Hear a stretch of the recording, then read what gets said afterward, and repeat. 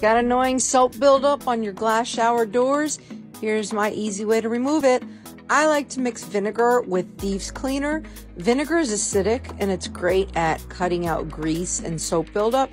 And thieves cleaner is a fantastic all-purpose plant-based cleaner which smells amazing and it covers up that vinegar smell. So I make my bottle, I wet a stainless steel scrubber, I spray the area all up and down, and then I scrub off the hard soap buildup with the stainless steel scrubber. So that's how you do it.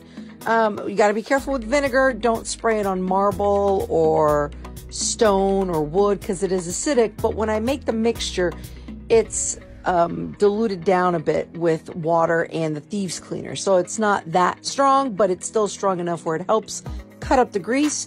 The thieves cleaner helps clean it off, and the stainless steel scrubber helps scrape off that soap buildup. So it's a great way to clean off uh, the soap buildup off of a glass shower door.